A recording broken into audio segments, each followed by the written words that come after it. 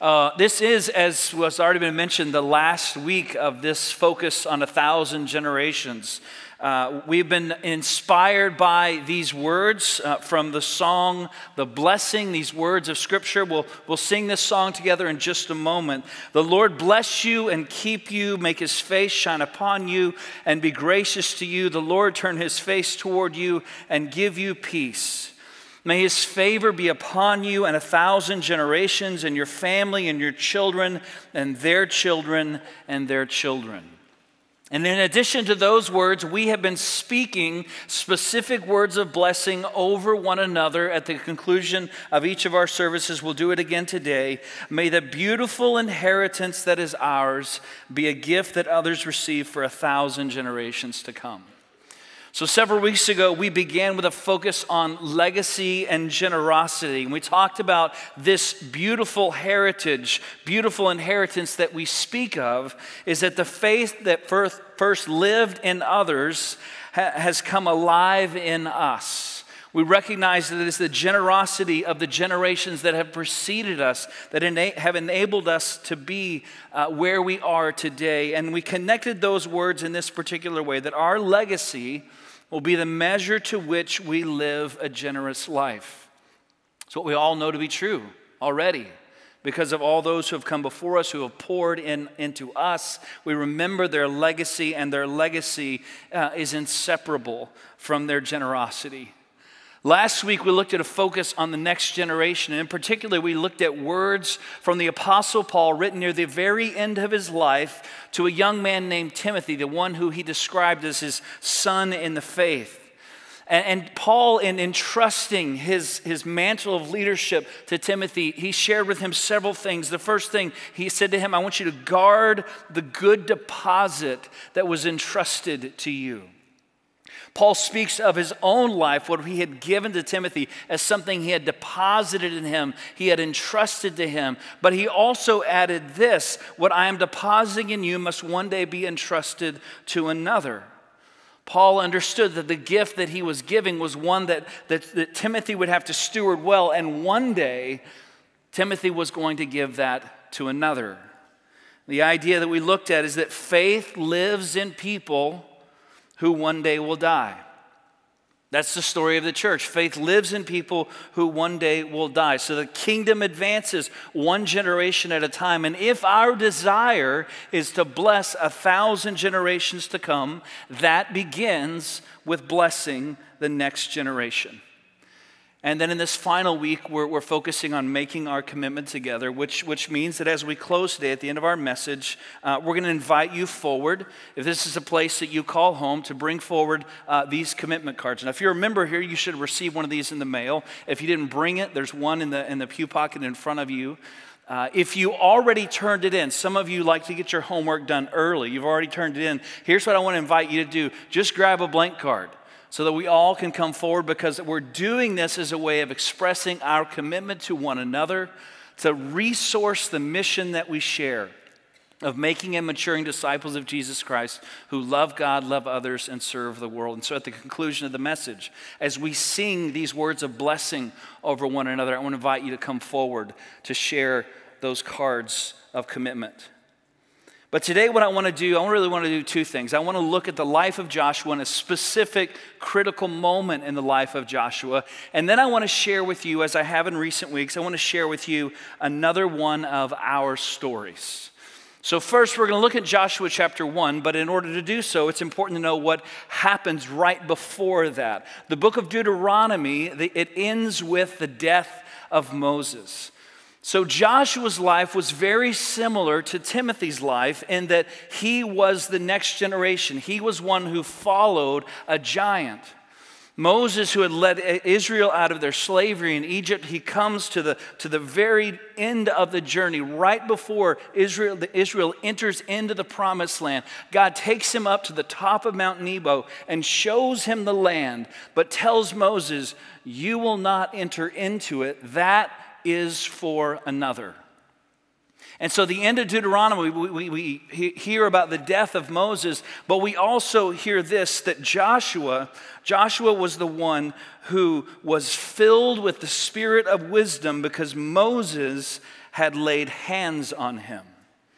So that's where we finish in the book of Deuteronomy with this once great leader passing on, and Joshua, uh, we are told, is the one who has been given the spirit of wisdom because Moses had laid his hands on him. So, with that in mind, we now turn to Joshua chapter 1, verse 1, and it says this After the death of Moses, the servant of the Lord, the Lord said to Joshua, son of Nun, Moses' aide, Moses, my servant, is dead.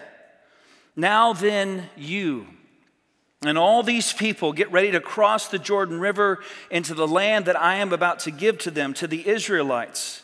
I will give you every place where you set your foot, as I promised Moses.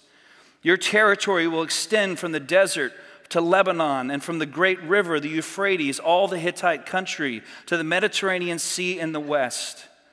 No one will be able to stand against you all the days of your life. As I was with Moses, so I will be with you. I will never leave you nor forsake you. Be strong and courageous, because you will lead these people to inherit the land I swore to their ancestors to give them.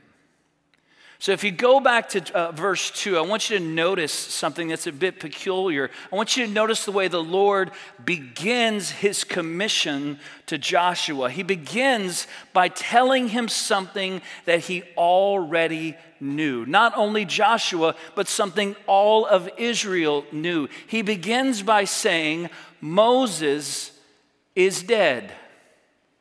And we can imagine Joshua at that moment thinking, I know. I mean, I was there. I saw him die. Why, why are you telling me that Moses is dead? But there is this, this, this notion here that in order for Joshua to receive his charge, in order for Joshua to receive the commission that God had given to him, God wants to first remind him of what has already happened. That this once great leader, mentor, the great hero of the faith who had done these amazing things in his life, bringing Israel all the way to, to the right up to the shoreline of the Jordan River, God wants to remind Joshua that Moses is dead. Moses is gone. And those, those five words there, Moses, my servant, is dead, the importance of them is seen in the three words that follow. God says to Joshua, Now then you. Moses is dead. Moses isn't coming back. Now, then, you. So, from the very beginning, before, before Joshua can even receive the full commission of what he has been called to do, before he can receive the mantle of leadership that Moses had carried all throughout his life, that he was now going to carry forward for the people as he led them into Israel, God seeks to undermine the number one thing that would have kept Joshua from fulfilling the part that he was called to play in Israel's story. God essentially says, don't even for a moment look over your shoulder thinking there is someone else who can do what I am commissioning you to do. Because this once great leader who had led Israel all of these years, the one who you had shared life with, who you learned from, who, who, who you were there all along the way, he is gone and he's never coming back. There's no reason to look over your shoulder thinking someone else can do what now I am commissioning you to do. God begins with something that Joshua already knew Moses is gone. Now then, you. But if you look at verse 5, it's important for us to recognize that God doesn't say you should just forget about Moses. What he says to him as, is, As I was with Moses, so I will be with you. The goal that, that God has for Joshua isn't that he would forget all the lessons that he learned, isn't that he would set aside everything that he experienced with with him, those opportunities that he had to stand next to him, at those moments of great success and joy, and, and those moments that he had the chance to, to be right there with him, and in his moments of sorrow and grief. He doesn't ask Joshua to set that aside and to simply forget who Moses was for him in his life. Instead, God says to him, What I did in his life, I will do in yours. Who I was for him, I will be for you. As I was with him, so I will be with you. And like Joshua, today we come forward with this same charge, hearing these words of encouragement and blessing from God. As I was with them, so I will be with you. As we celebrate what has come before, we recognize that God is continuing to carry this story forward. We celebrate the faithfulness of God, recognizing that God will be faithful, that they, all those who came before us, finished well. But that doesn't mean that they finished the work. So, with that, again, as we prepare to make our commitment, I want to share with you one of our stories. And if this is your home, even though this is a story that almost all of you have never heard before or, or have no knowledge of, I want you to hear that it's your story too because it's a story of your church and your church's faithfulness and, and what has happened in the generations that have preceded you. So it was the fall of 2008 when our senior pastor at the time, Mike Ramsdale, returned from a gathering of large churches across the country, and what he brought back to us was a particular vision that over the next five years, we were going to start five new worship services. Now, Mike didn't know exactly how we were going to do that, okay? He simply brought to us this vision five new services over the course of the next five years, and then he invited us to, to dream with him, to begin to think about what that might look like for us and for our church. Now, we knew that there was one in particular that we were definitely going to launch, work that we felt called to. We knew that we were going to be launching a new service that would also launch a brand new ministry, which was Celebrate Recovery. So there you go. We had one, but there was four more. And so from there, we began to think about well, when are these services going to happen? We had our Sunday morning services at that time. We also had a Saturday night service that, that I preached at that particular time. But when were we going to have these other services? That was our first question uh, that we began to wrestle with before we came to the equally important question, which was where are these services going to take place? Because to, to, start a brand new service in this room is, is well, it's hard, okay? This room seats a thousand people, uh, critical mass in this space, it's, it's hard to find. Uh, so we needed a different space. Now, some of you might be thinking, well, wasn't the obvious choice that you would start these new services in the chapel? Yes, but here was the problem. In 2008, the chapel wasn't the chapel.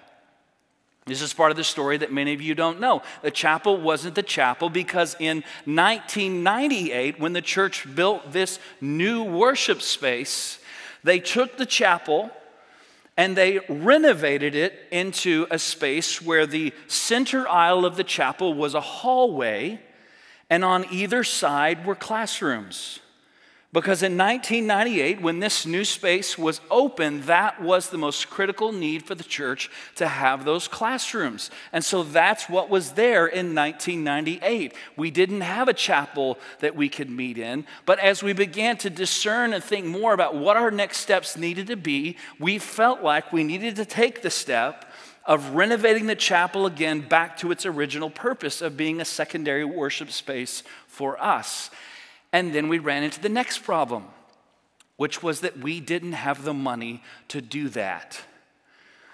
Now, at that time, it wasn't a great deal of money. We, we kind of had a sense of what that would be through volunteers and the generosity of the contractor that was going to be doing that work for us, but it was money that we didn't have. So at the end of 2008, we simply began to wait. And Mike said to us what I heard him say countless times in the 10 years that I worked with him. He said, We're going to trust that God will provide. which in that instances and many other I received as a very frustrating response. as a young person who was ready to run and ready to go, and he said, We're just going to trust God. I thought, okay, we're just going to sit around and, and trust God. Now, to understand what happened next, I actually need to take you back a little over 30 years before to March of 1975. And in March in 1975, a, a couple here in our church, uh, who most of you never knew, had, uh, never had the chance to meet, uh, a couple by the name of Ola and Lena Green, they finalized their will. And in doing so, they named the church as the secondary beneficiary of their estate. Now, the church didn't find that out until the fall of 1983. After Ola passed away, the church was made aware uh, that according to their estate planning, the, the estate would first pass to their daughter Billy, and after Billy passed away, it would eventually uh, be given to the church. Now, we fast forward again a quarter century. We go from 1975 to 1983. We're back at 2008. We're back at this place where all we've, we've heard from our senior pastors, we're just going to trust God uh, to make those resources come our way. And what we didn't know at that time is that Billy had passed away that previous spring, in the spring of 2008. And so in January of 2009, we didn't have to wait very long, we received a letter letting us know that Billy had passed away and the plans that Ola and Lena had established in 1975 that the church would receive their estate, that was about to happen. Now, for those of you who may be wondering, it wasn't millions of dollars, but we didn't need millions of dollars. We needed about $130,000 to do the work of transforming that space back into its origin, for its original purpose, a worship space where we could gather, launch these new services, a place where Celebrate Recovery could start, and all of these other things that we had planned. And so we went about the work of tearing down the hallway and the classrooms, which, which worked out pretty well because if you attended a class in that space, you might notice there's a little bit of a ramp here in our worship space. There also is in our chapel space, which means that if you were there, you, slept, you sat slightly to the, to the left or slightly to the right most of the time. It wasn't the best space, but it was space that was utilized well for 10 years. But we went about the work of transforming it back to this worship space that we could use. And over the course of the years since 2008, uh, we've used that space in remarkable ways. Again, we launched Celebrate Recovery, which still meets in that space every Thursday night at 6:30. We have celebrated the lives of countless saints in that beautiful chapel space. We've launched several new services in that space, and next week we're launching another one uh, with Pastor Thomas serving as the lead pastor uh, of the service that will begin next Sunday, which means, by the way, that next week when you walk in here, if you come to 9:30, there will be less people in here. Just so you know, and it isn't because they disappeared. It's because they'll be there at 11 o'clock. In fact, let me, let me just add this. Some of you, I want you to go over there. I want you to be there to help get that started. And that might even become for you your primary service that you're going to come to week in and week out. A place where you can gather and worship, a place that was made possible because a gift that was given so long ago. In 1975, the church was five years away from building a sanctuary here on this property. In, 1975, they, were many years uh, prior to, having any knowledge. They never could have imagined that less than 20 years later, a new worship space would need to be constructed here to accommodate the tremendous growth that happened in the life of this church. They never would have imagined that that original space would be transformed to classrooms and used uh, over the course of a decade. And they never would have imagined that we would be in a place where we now have this, this great resources for the, for the church to gather and for a new service to begin next week. Ola and Lena never knew, never could imagine what their gift would do. They never knew that that gift was the answer to the prayers that we were praying in 2008. There's a bookmark that I keep in my Bible. It has a prayer, and part of the prayer that always just grips my heart is this I will remember that the tiniest seeds become the tallest trees, that the seeds of today become the shade of tomorrow, that the faith of right now becomes the future of the everlasting kingdom. Ola and Lena are but two, name, two names among thousands and thousands that have defined the faithfulness of this church over the course of the last 139 years. And we come to the altar today prayerfully asking, God, would you add my name to the names of those whom you have named as faithful? Jesus, I give to you what I have, acknowledging that I am willing to be forgotten so that you never are. The only name that I need to be known by is the name faithful. And so, as we sing these words of blessing over one another, I want to first invite you to stand, just so you can stretch your legs a little bit. It makes the next moment a little less awkward, okay? You're invited to come if you want to pray at, at, here at, at the altar for your church. I would encourage you to do that. But first, let me lead us into this time with a word of prayer. Will you pray with me? Holy and loving God, our prayer is simple. Would you find us faithful? Even as we think of all those who have come before us, and we remember that as you were present with them, you will continue to be with us. As you were faithful in their life, we trust, Lord, that you will continue to be faithful in ours. We will remember that tiny seeds grow into tall trees. That those seeds we plant today become the shade of tomorrow. That our faith right now becomes the future of the everlasting kingdom of which, of which we get to play a part. And so, Lord, would you remind us that there is no looking over our shoulder, that there, we are the only ones who can do what you have called us to do. And we, Lord, hear again this great challenge in these words of, of hope and blessing that you first shared with Joshua be strong and courageous. I will never leave you nor forsake you. I will give you every place where you set your foot. No one will be able to stand against you. Be strong and courageous. May that, may those words, Lord, may they define our life today and in all the days that you give us that are to come. This we pray in the name of the Father, and the Son, and the Holy Spirit. Amen.